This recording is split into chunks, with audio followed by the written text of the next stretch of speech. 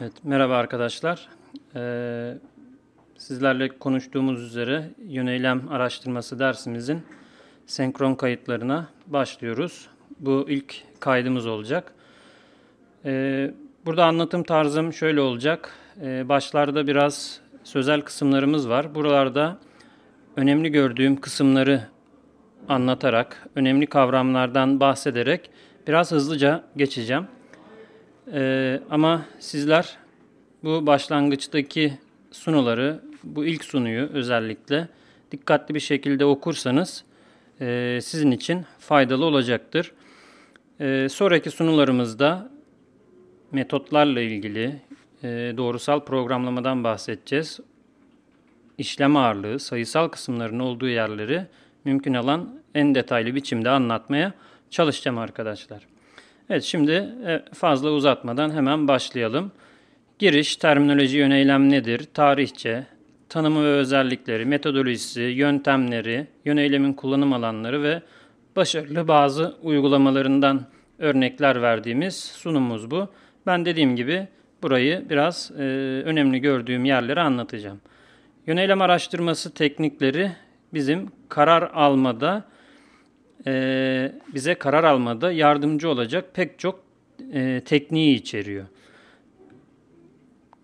Alacağımız kararın türüne göre uygulayacağımız yöntemler de değişiyor. Ama temeldeki amacımız bu.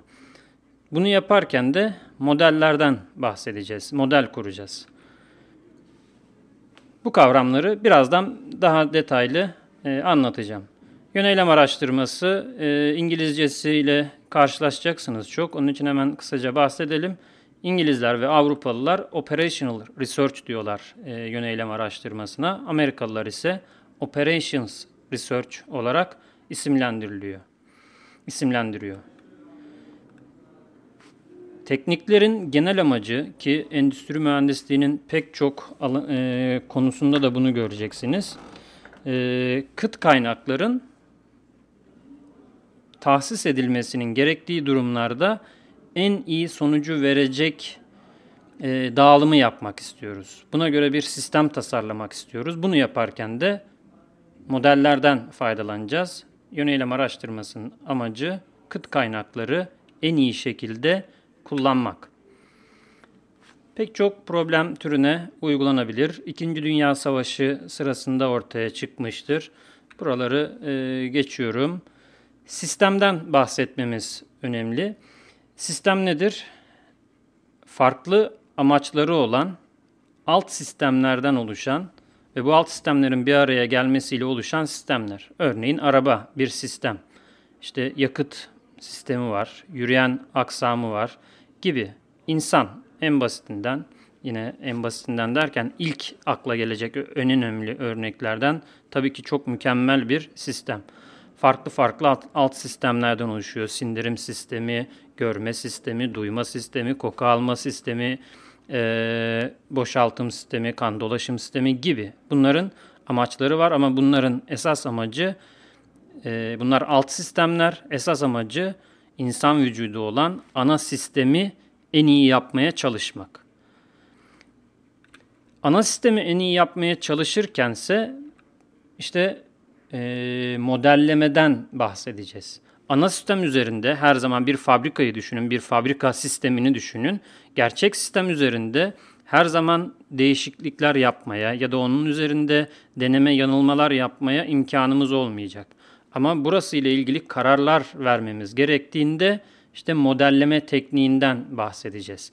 Peki yöneylem araştırması kullanarak bir sistemi iyileştirme noktasında e, nasıl bir yol izleyeceğiz? Bunu kısaca hatırlayacak olursak önce problemimizi belirleyeceğiz. Diyelim ki üretim miktarımızı arttırmak istiyoruz. Ya da işlerin yapılma zamanlarını en azlamak, en küçüklemek istiyoruz. İşte böyle bir problemimizin ne olduğunu ortaya koyacağız.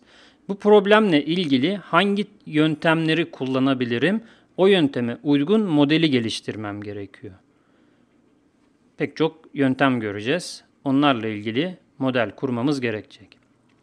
Ve e, bu dersin içinde farklı farklı model kurma tekniklerini göstereceğiz ve bunların çözüm yöntemlerini de göstereceğiz.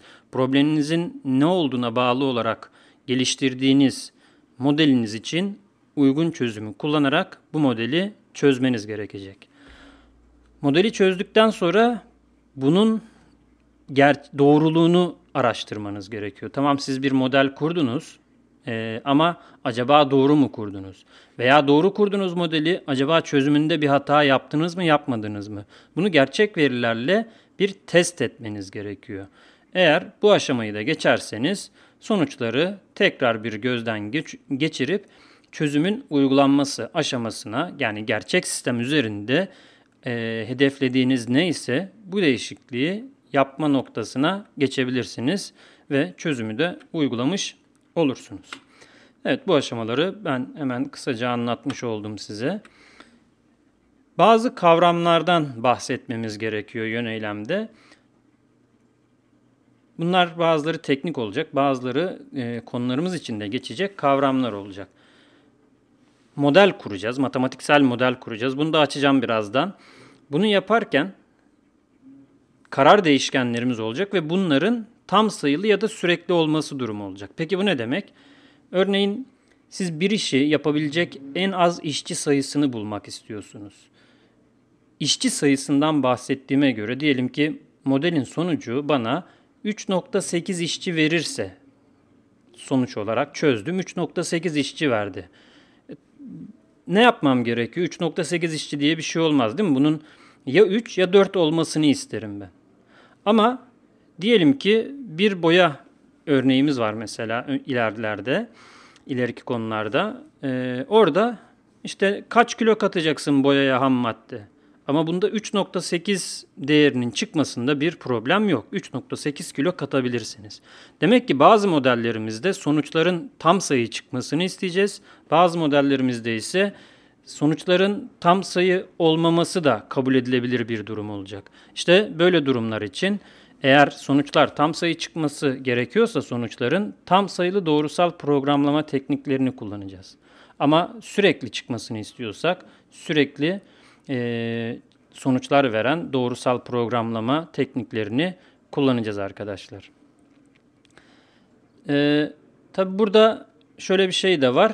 Aynı model içinde bazı değişkenlerimin işçi sayısı örneği verdim. Tam sayı olmasını istediğim gibi bazıları da ondalıklı ya da sürekli olabilir. Böyle modellerimiz de olacak. İlla ki bütün değişkenlerimin tam sayı ya da sürekli olmasına gerek yok. Bir başka özellik amaç ve kısıt fonksiyonlarımız olacak model içinde. Bunlar doğrusal olan ya da doğrusal olmayan şeklinde olabilir. Ne demek doğrusal olan?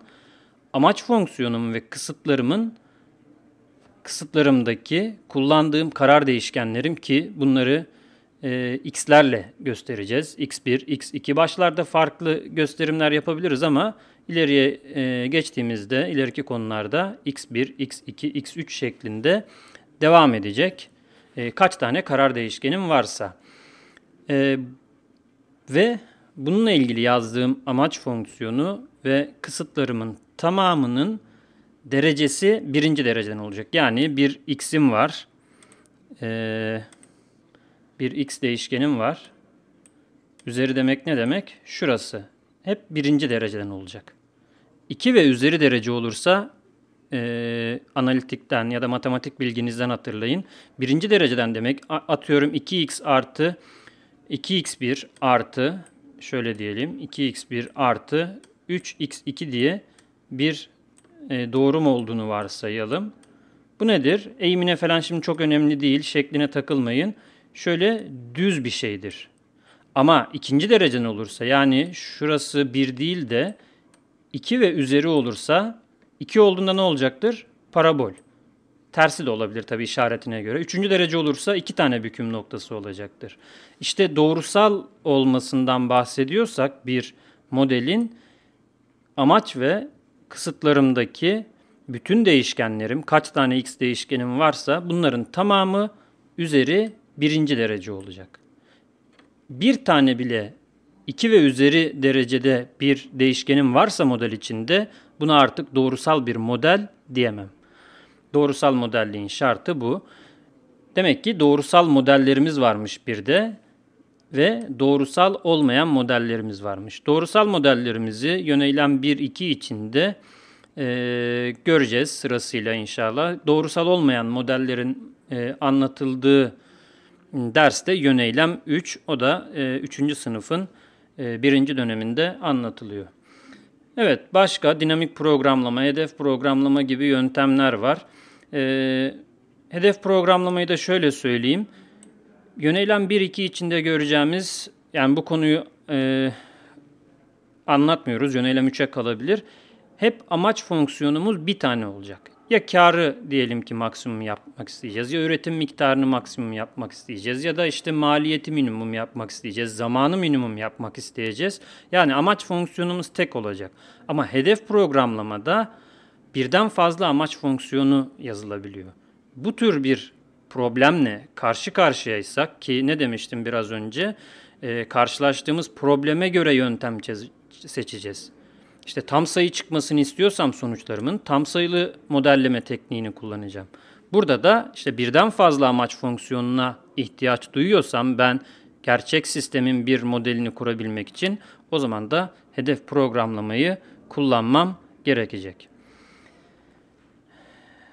Evet, doğrusal programlamadan bahsettik, tam sayılı programlamadan bahsettik, hedef programlamadan bahsettik, dinamik programlama, oyun teorisi, gibi yöntemlerimiz var. Bunlar e, dediğim gibi dinamik programlamada, oyun teorisi yöneylem 3 içinde anlatılan der, dersler. Bekleme hattı ya da kuyruk modelleri diyoruz buna.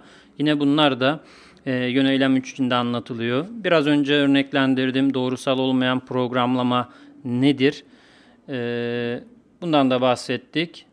Yine doğrusal olmayan programlama içinde ve yöneylemin e, kullanım alanlarından e, kısaca örnekler verdik. Bu sununun e, bu kısımlarını e, ben sizden okumanızı e, istiyorum. Dediğim gibi ben daha çok e, sayısal kısımlar üzerinde detaylı bir anlatım yapacağım.